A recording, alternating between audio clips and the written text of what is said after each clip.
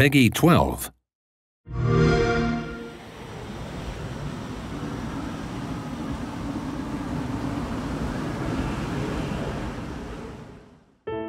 That day, I accepted my fate and left my village.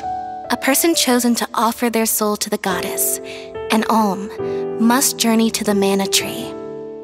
The mana of the world is replenished through that alm sacrifice, blessing our lands with prosperity. The alms are necessary to preserve a future for the whole world.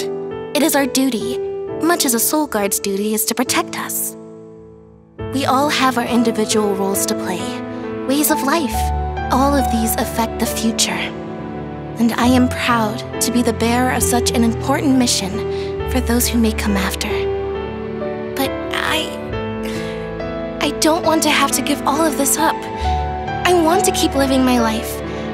And now that I've realized that, I know that what I really want is to stay here and keep making memories with you, Val.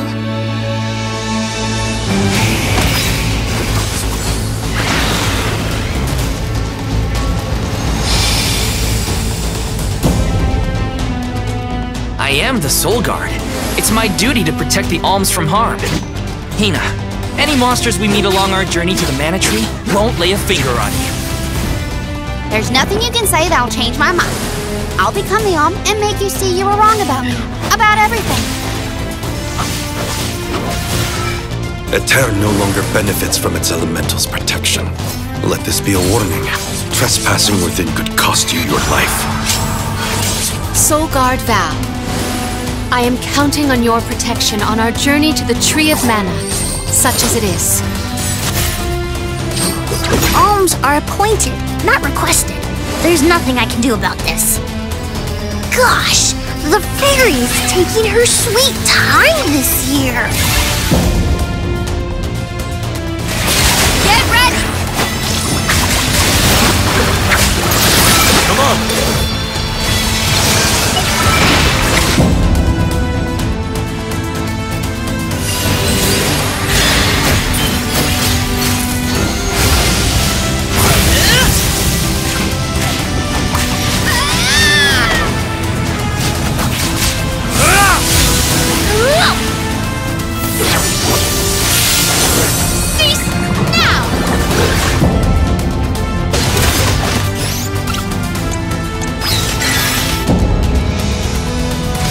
You up.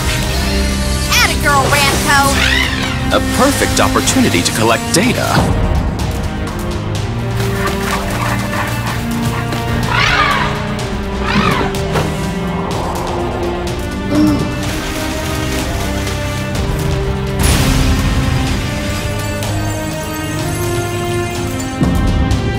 The name's Orin.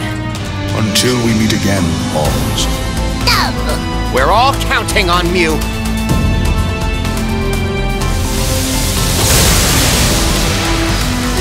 safely reach your journey's end. Come on, don't give up. So many alms have given their souls to the Mana Tree. Their strong hearts created a better tomorrow. To protect the next generation, we will protect the Mana Tree. We will protect the entire world.